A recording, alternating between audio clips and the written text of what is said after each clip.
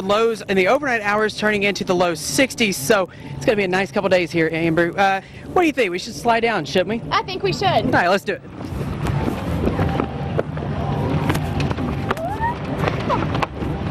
Oh, no, you're beating me!